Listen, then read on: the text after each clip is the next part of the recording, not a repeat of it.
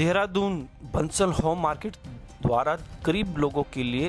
भोजन बनाकर सेवला कला एरिया में वितरण कराया गया